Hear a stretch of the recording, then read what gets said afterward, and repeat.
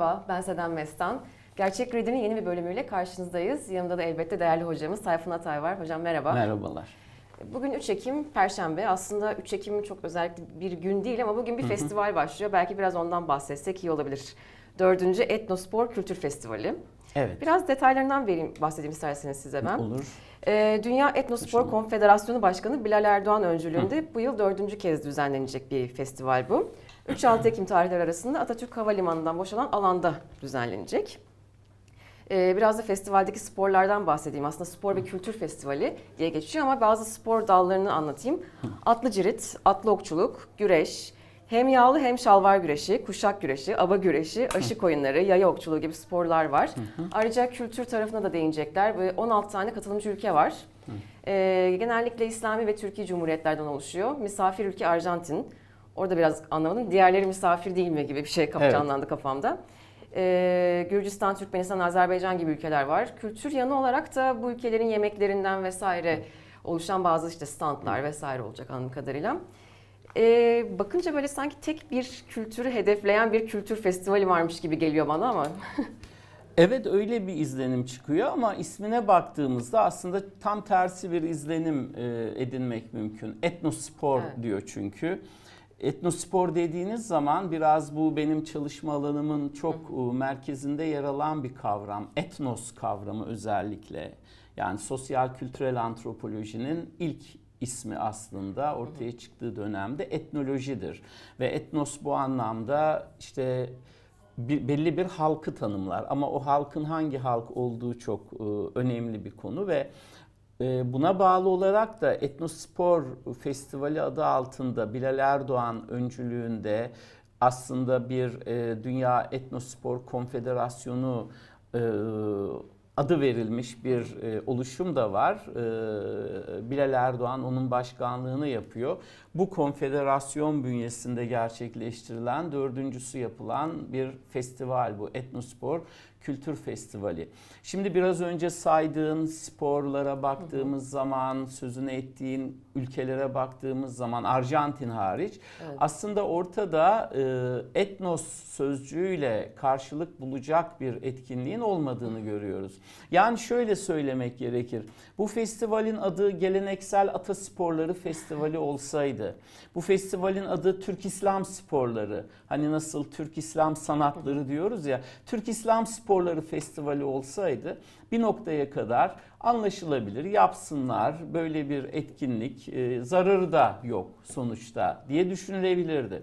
Fakat mesele şu ki Seden, etnospor dediğin zaman e, aslında kendi kültürünün, kendi tarihinin Bilal Erdoğan'ın bu etkinliği tanıttığı pek çok e, yerde olduğu gibi işte ceddimizi, kültürümüzü, geçmişimizi, işte milli varlığımızı bilmek ve kültürel dirilişimizi sağlamak gibi bir retorik, bir söylem üzerinden etnospor üretemezsiniz. Mesele budur.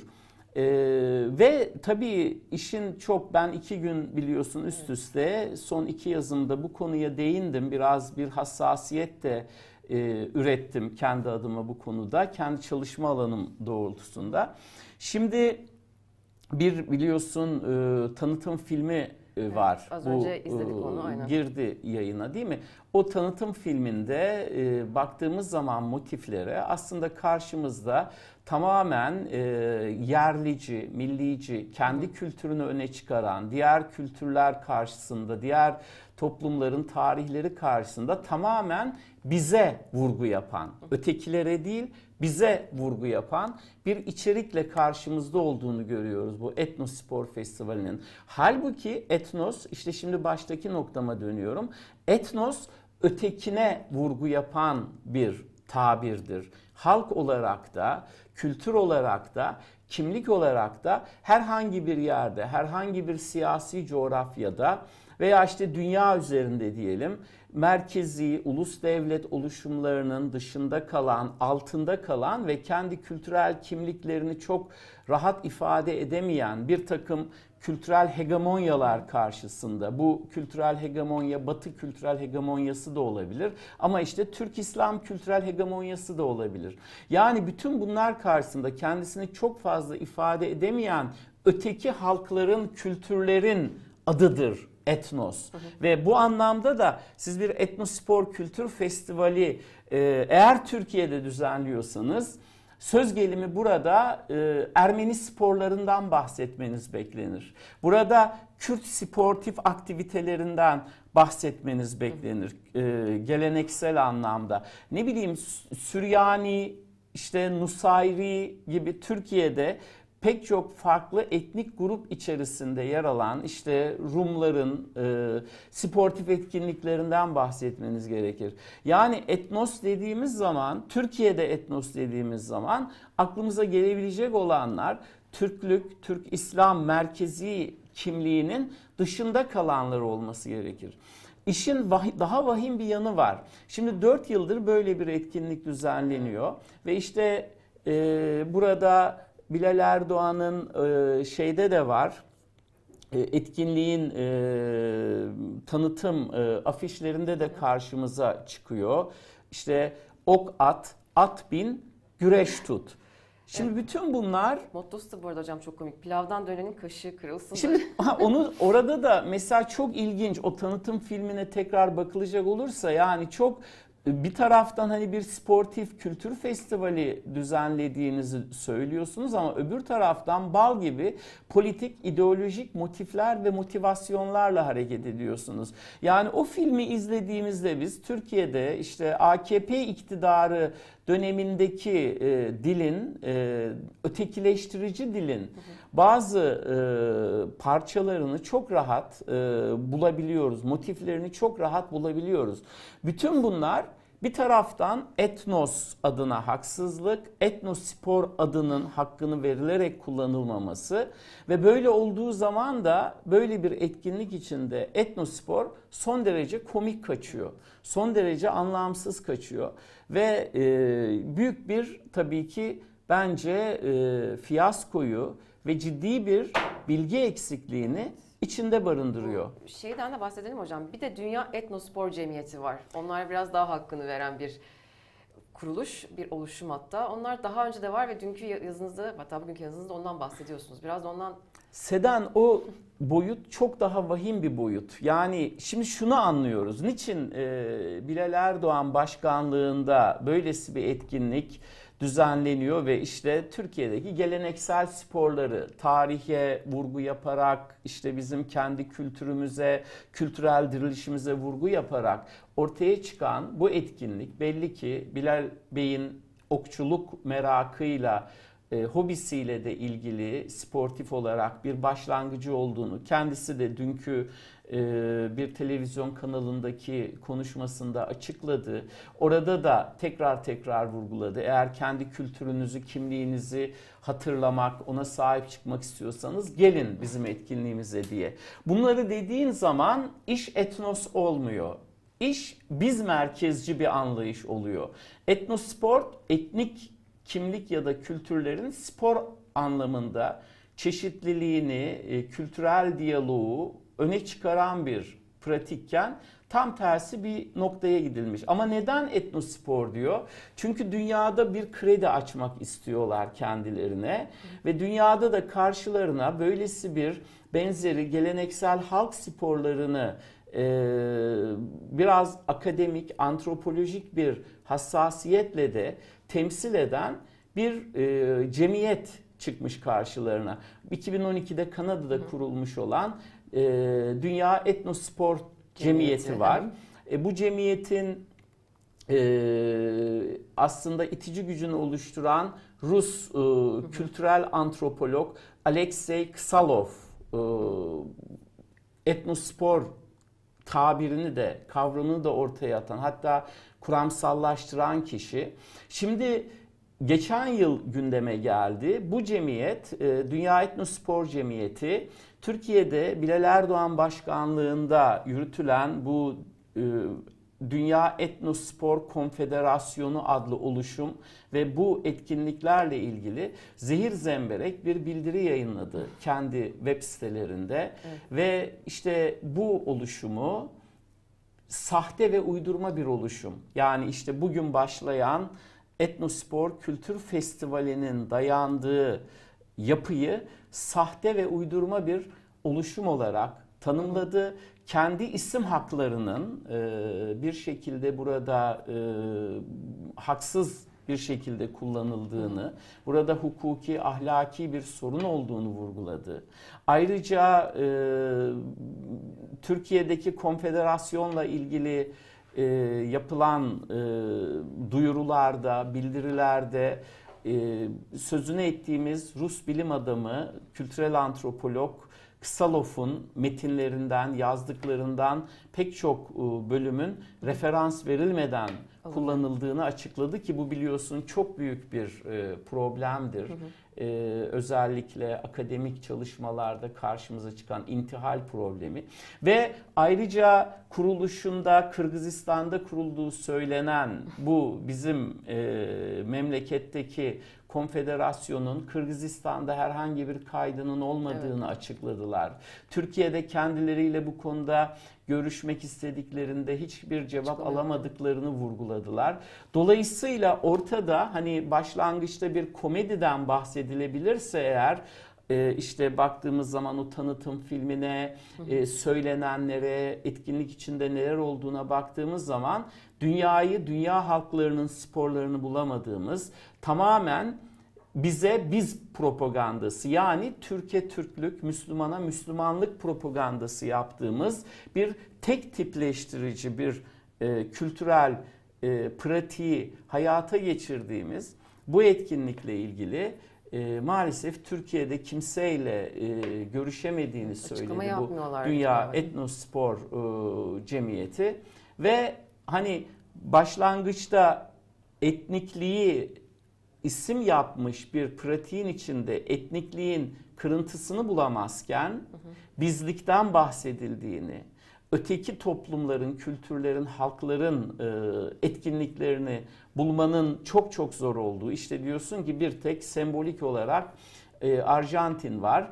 Dün zaten açıkladı Bilal Erdoğan bu dedi ulusal bir etkinliktir dedi. E, ulusal bir etkinlikse biraz önce söylediğim gibi bunda bizim beklememiz gereken Türkiye toplumunun içerisinde merkezi kimliği oluşturan, merkezi kültürel kimliği oluşturan Türklük e, simgeselinin ve hani İslam simgeselinin dışında kalan kültürleri, dışında kalan toplulukları, onların dünyasından bize sportif etkinlikleri yansıtmamız gerekir. Bu bir komedi ama Dünya Etnospor Cemiyeti'nin e, Türkiye'deki dünya tırnak içinde Dünya Etnospor Konfederasyonu ile ilgili geçen yıl başında yaptığı açıklama çok büyük bir rezaleti, çok yüz kızartıcı bir tabloyu önümüze seriyor. Buna rağmen eğer bu sene böyle bir etkinlik yapmaya hala devam ediyorlarsa ben de diyorum ki hani sen şimdi tam bak ba- noktalamış olacağız. Pilavdan dönen kaşığı kırılsın. Eğer yanlış sizin için pilavsa, yanlış yapmak, yanlışlar sizin için pilav oluyorsa e tamam devam edin. Pilavdan dönenin kaşığı kırılsın. Hocam burada çok başka bir konuya geçmek istiyorum. Ben bu tek tipleştirme, bu kültürel şey biraz krizler çağındaki e, to- dünyanın toplumsal halini biraz yansıtıyor gibi geliyor bana. Hani bu tek bir şey, biraz distopyaları anımsatan bir hale bürünmeye başladık gibi geliyor bana bazı şeyler. Özellikle- Evet bir ölçüde yani dünyada yaşanan krizler, ötekileştirmeler, kutuplaşmalar maalesef insanlığın e, birliğinin vurgulandığı, insanlığın diyelim ki ruhsal birliğinin vurgulandığı evrenselci e, anlayışlardan, görüşlerden uzaklaşmak ve giderek böyle içe kapalı e, bir takım e, pratiklerle kendimize dönme çabaları biraz e, yaşanan e, küresel krizle, ekonomik krizle ilgili onun yansımaları da e, distopik bir e, anlayışın e, insanlarda hakim olması. Ama tabii distopya ile ne kastediyoruz? Biraz Onun bu üzerinde durmamız krizler lazım. Ya sen krizler çağında bir umut yitirme ve geleceğe dair tüm öngörüler sanki işte yapay zeka insanlığı ele geçirecek. Ee, işte genel olarak bazen insan üzerinden de bazı senaryolar var. İşte Walking Dead'de onu görüyoruz. Zombiler var işin içinde ama tamamen Evet. bambaşka bir insanın insanı yaptıkları Hı. üzerinden bir hikaye. Yani distop Hı. şu ara özellikle kurgu dünyasında bilhassa da dizilerde görüyoruz bunu. Deli gibi bir distopyalara doğru Hı. bir anlatım artıyor. Daha çok karamsar şeylerden bahsediyoruz. Black Mirror ile birlikte zaten yüksek lineer teknolojinin ne kadar kötü şeylere yol açabileceğini görüyoruz. Hani biraz benim kastettiğim distopyalar o. Geleceğe Evet. dair görülen her şeyin çok karamsar ve Karanlık kötü olması. olması. Ama aslında çok da umut verici şeyler de oluyor bir taraftan ama hani Şimdi Walking Dead ile ilgili hemen aklıma gelen bir şey söyleyeyim. Walking Dead aslında insanın kendinden korkusunun hayali yansıması. Şimdi 10. sezonu biliyorsun başlayacak. başlayacak, evet. Ee, pazartesi günü sanıyorum yayına girecek. Yani 10 sezondur devam ediyor ve izlemesi çok zor bir dizi. Pek çok ben öneriyorum e, insanlara ama bir bölüm izleyip bırakıyorlar. Çünkü çok dehşet sahneler olduğu aslında için bu bir çizgi roman biliyorsunuz hocam. ve Çizgi roman çok daha sert ama tabii Evet. televizyona bile ancak yani bu kadar bu kadar e, yansımıyor. Bu bile çok şey, evet, sert. bu bile bu bile rahatsız ediyor insanları. Yani kısaca söyleyelim. İşte bir bilimsel araştırma sırasında e, yanlışlıkla bir virüsün yayılması işte insanların ölünce zombi haline gelmesini e, işte insan eti yiyen zombilere dönüşmesine yol açıyor. Zombi bir işte yürüyen ölü. Hani f- filmin adı da oradan zaten Walking Dead olarak karşımıza çıkıyor. Ama tabii Walking Dead bize başka bir şey anlatıyor ve işte senin o genel çerçevene buradan Black Mirror'a kadar e, gelebileceğimizi de umut ediyorum. E, şeye e, kadar gelebileceğimizi e, umut ediyorum. Yapay zekaya kadar gelebileceğimizi umut ediyorum. Şimdi e, aslında zombileşmiş bir dünyada yaşıyoruz diyor bize Walking Evet. Dead ve içinde bulunduğumuz e, ekonomik sistemin aslında etik e, yönelimlerinin, amaçlarının aslında insanın insanın kurdu olduğu bir e, dünyayı var ettiğini düşünürsek zaten orada zombi bir metafor ama Evet. öyle bir dünyanın içinde yaşıyoruz ki herkes herkesin etini e, yemek, kanını emmek istiyor bugünün dünyasında. Yani yarışmacı bir e, anlayışın, rekabetçi bir anlayışın hakim olduğu bugünün dünyasında insan kendisini zaten çevresindeki herkesin kendisini işte yok etmeye çalışan, işte hapur hupur yemeye çalışan zombilerden e, müteşekkil olduğunu düşünerek çevresinin yaşamını sürdürüyor. Yani böylesi ağır bir dizinin, böylesi sert bir dizinin 10. sezonunu tamamlıyor olması aslında her sezonu ayrı ayrı ele aldığımızda başka bir e, motif karşımıza çıkıyor.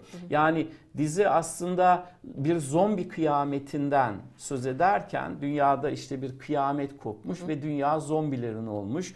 Öbek öbek kendilerini hala yaşatmaya, var etmeye çalışan insan grupları var.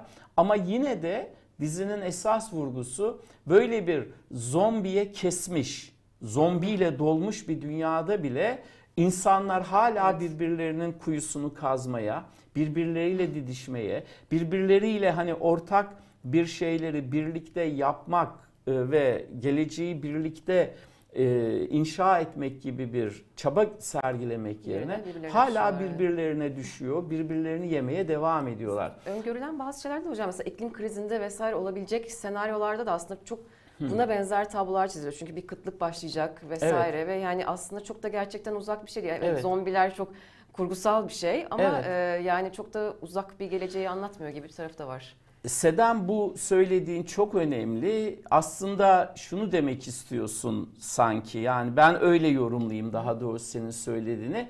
Bir kıyamet fantezisi Evet. aslında bir kıyamet gerçekliğinden çıkıyor. Çok evet uzak Yani bir şey değil gibi küresel aslında. iklim krizinden e, söz ettiğimiz, dünyanın ömrünün 10-11 yılla sınırlı olduğunu söylediğimiz çocukların artık büyüklere, yetişkinlere isyan ederek hayatımızı, geleceğimizi mahvettiniz dediği bir dünya dünyada kıyamet aslında bir gerçeklik. O yüzden de senin başta vurguladığın kıyamet senaryoları ve distopik içerikler bugünün dünyasında karşılık buluyor. Evet. İnsanlar kendi yaşadıklarını, kendi korkularını, kendi umutsuzluklarını ve umarsızlıklarını bir şekilde bu tür e, e, kurgusal içeriklerde karşılarında buluyorlar. Bunların bir kısmı işte yapay zekanın Evet. ve androidin insan yerini alması ama giderek de insanların robotlaştığı bir dünyaya gidiyoruz. Şimdi bütün bunlar elbette e, sıradan insanlar için, sade vatandaş için bir şekilde belki hani çok bilinç düzeyinde dışa vurulmasa da bilinç dışı hissediliyor. Bir sıkıntı, bir bunalım. Mesela e, 2014-2015'ti sanıyorum. E, İklim krizi ve biz National Geographic'te çok önemli bir belgesel yayınlandı.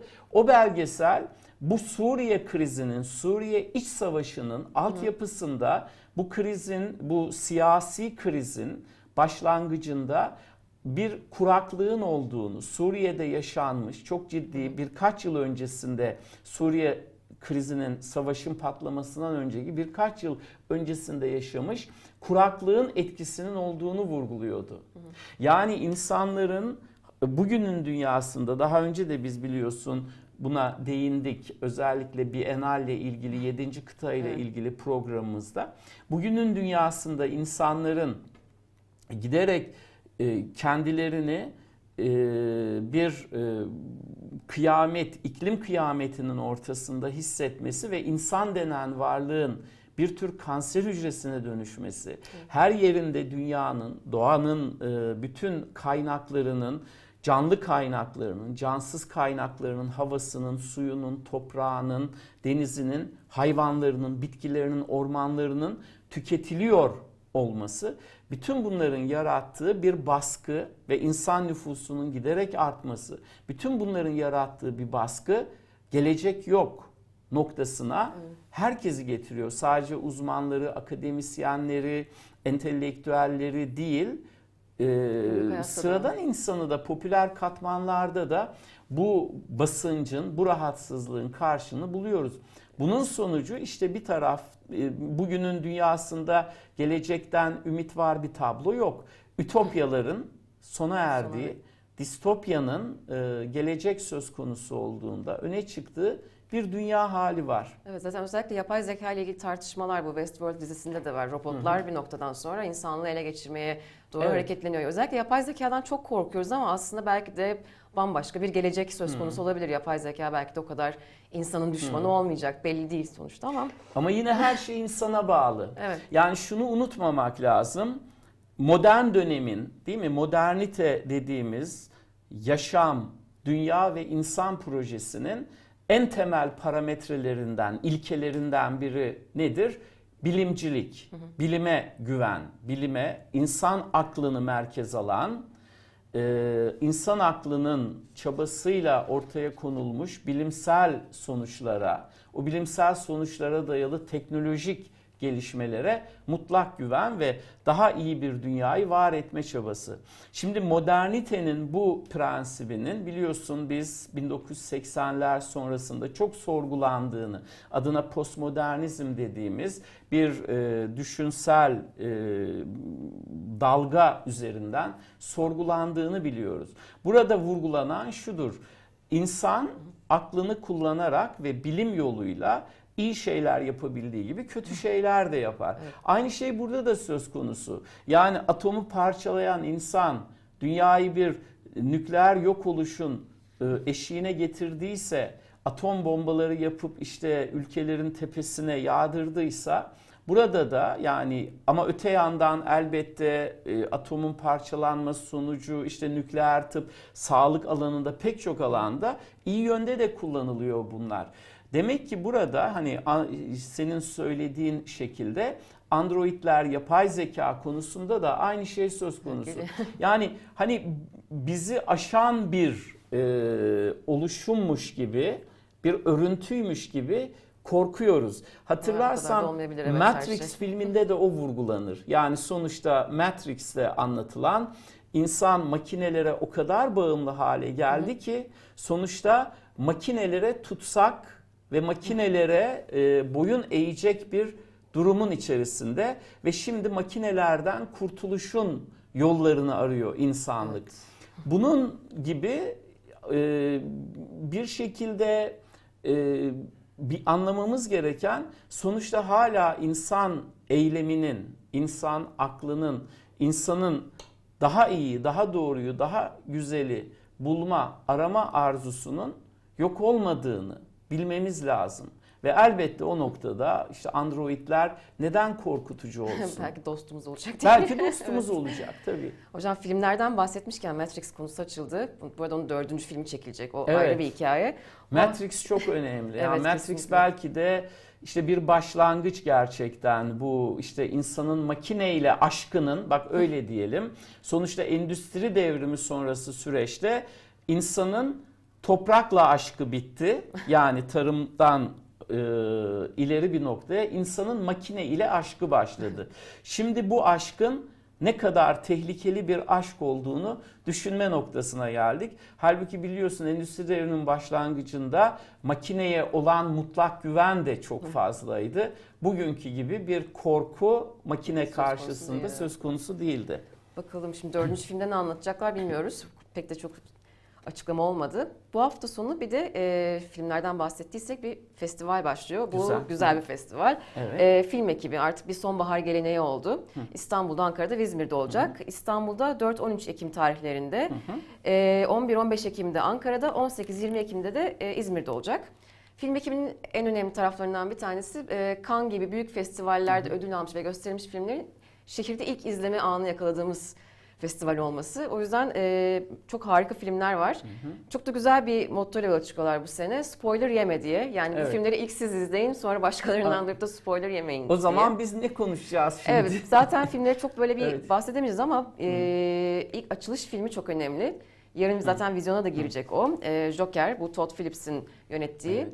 Venedik Film Festivali'nde de en büyük ödülleri aldı aslında. En iyi film ödülünü aldı. E, Joker'i canlandıran Joaquin Phoenix en iyi oyuncu ödülünü aldı.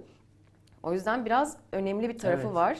Bir de e, bildiğimiz Joker portrelerinden farklı bir Joker göreceğiz. Yani bir insan haliyle Joker'i göreceğiz. O e, delirmeden önceki hallerini Evet, diyelim. Niye evet. Joker Joker oldu gibisinden bir e, insancıl bir tarafı yani da var. şu mu? Joker'i kazı altından insan çıkar. Evet aslında adını öğreniyoruz. Arthur Fleck olduğunu öğreniyoruz Evet. adının. E, türlü zorbalıklara uğramış, toplumun dışına itilmiş. Sonrasında Joker'e dönüşmüş bir adam var karşımızda. Zaten rolde Joaquin Phoenix bu metod oyunculuğuna kendisini biraz fazla kaptırıp e, sette böyle çok zorluklar yaşamış. Bu zaten Joker rollerindeki en büyük sıkıntı bu. Zaten Heath Ledger bundan dolayı öldü diye de söyleniyor.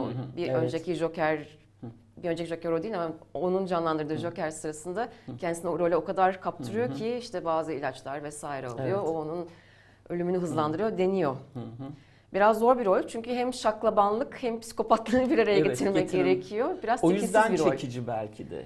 Evet. Yani herhalde burada esas e, üzerinde durmamız gereken Joker neden bu kadar evet. ne diyelim sevildi diyelim mi? Çünkü çok Ee, korkunç bir karakter aslında Benimsendi ama demek belki yani hani sevildi sevenleri de var. Kesin, evet, bunu bunu hayranları var, söylememiz gerekir. Çünkü bildiğim kadarıyla 1940'larda değil mi? Batman Evet. içerisinde çizgi romanda e, üretilmiş, yaratılmış bir karakter. E, bu yani anlaşılır bir şey. Çünkü biliyorsun bu tür kurgularda bir şekilde iyi karakterin karşısında bir kötü huylu, kötü ruhlu, antagonistik dediğimiz bir e, karakter var etmek gerekiyor. Ama e, hani böylesi bir e, çıkışla e, bizim önümüzde olan karakterlerin bu kadar e, popülerleşmesi ve belki de o iyi karakteri de aşacak ölçüde yaygınlık kazanması çok nadir e, bu tür kurgularda e, olabilen bir şey. Mesela aklıma hemen JR geldi değil mi? Dal- JR, Dallas Dallas dizisinde e, aslında e, Larry Hagman'ın canlandırdığı JR karakteri e, bir yan roldü, tamamlayıcı roldü, ana rol değildi. E, ama zaman içerisinde öyle bir benimsendi ki Ceyar tabii oyuncunun o Evet. yetkinliğiyle de ilgili Larry Hagman'ın ama bir anda dizinin as rolü Evet, o haline Memnun geldi. Firdevs Hanım da öyle mesela. Evet, evet o da Çok bir öyle. sürü öyle karakter, evet. Burada da Joker yani 1940'lardan ve değil mi pek çok animasyon e, Evet, ürünler var. E, Şey devam etti, çizgi roman devam. Sen o istersen listeyi Ee, 6 elindeyse- tane oyuncu tarafından e, Mark Hamill sesiyle e, canlandırıyor Joker'i ama 5 tane aktör kamera karşısında oynuyor. Jack Nicholson zaten çok ünlü biliyorsunuz. Biraz Tabii. Jack Nicholson'la kültleşmiş bir roldü. Sonra Heath iyice Evet. efsanevi bir romantikçe Evet. efsaneleşti tabii Evet. ki. E, şimdi Joaquin Phoenix de bayağı başarılı bulunuyor. Oscar'da yolu açık diyorlar. Evet. Bakalım ben Evet. de severim Joaquin Phoenix'i. Güzel olacak diye düşünüyorum. Yarın izleyeceğiz.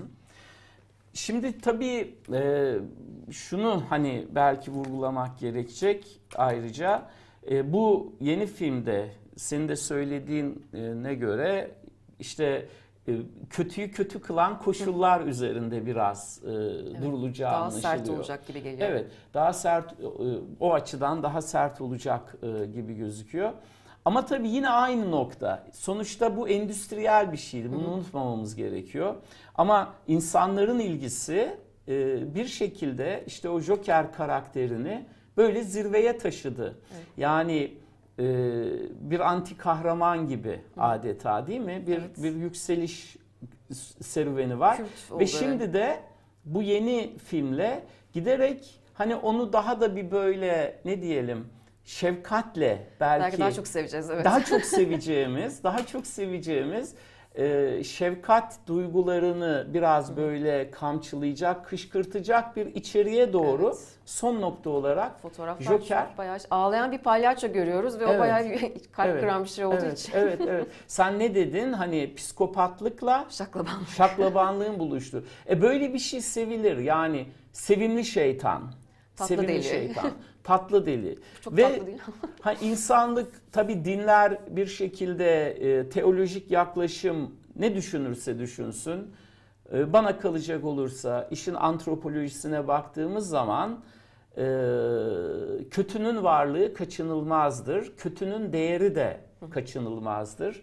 Kötünün varlığı ve değeri üzerinden zaten iyi varlık kazanır. Bu yine e, bir başka önemli sosyal bilimci düşünür Claude Lévi-Strauss Fransız yapısal antropolojisinin kurucusu. Onun ikili karşıtlıklar kavramı üzerinden de bakılabilir.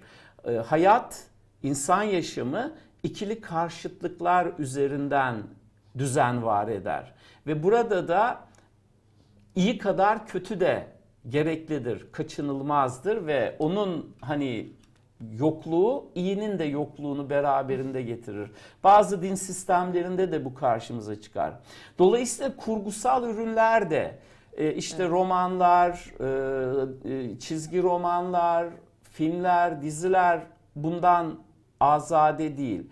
Aynı format oralarda da karşımıza çıkıyor ve işte iyinin karşısında bir kötü karakter üreteceksiniz ki iyinin de farkı fark edilebilsin. Ama işte bazen o kötü kabına sığmıyor. Joker gibi e, giderek 1940'lardan bu yana olan serüveninde bir e, psikopat deli olarak başladığı rolde bugün işte hani e, ben de insanım ve Evet. işte e, Benim duygularım bu- var.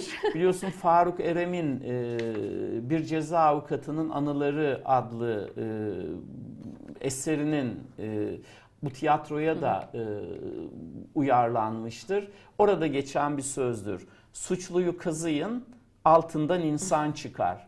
Bunu Joker'e de işte herhalde bu son filmin belki de e, mottosu bu olabilir. Evet. Joker'i kazı, altından insan Bir çıkar. isim, ismi olduğunu öğreniyoruz yani Joker'den önce.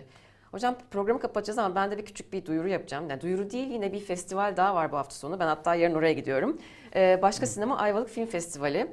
O da çok önemli bir festival. Geçen sene ilk kez düzenlendi. Başka Sinema tarafından düzenlenen bir şey. Başka Sinema da her, bize her gün festival mottosuyla yola çıkmış bir oluşum. Ee, Vizyona girmeyen festival filmlerini yıl boyunca vizyonda Çok güzel. buluşturuyorlar. Büyük sinemalarda Biraz buluşturuyorlar. bu sinema endüstrisinin giderek daha böyle Evet. ticari ürünleri öne çıkarıp Aynen. işte sinemanın sanatsal edebi değerini Aynen. ihmal etmesine karşı bir değil Evet mi? ve çaba. izleyici yani bulamadığı filmleri tekrar yani festivallerde kaçırdığı filmleri ya da tekrar izleme şansı yakalıyor yıl boyunca. Ee, dediğim gibi geçen sene ilki düzenlenmişti. Hem uluslararası hem de e, yerli filmlerin olduğu bir festival. Bu sene de ikincisi düzenlenecek. 4-9 Ekim tarihleri arasında.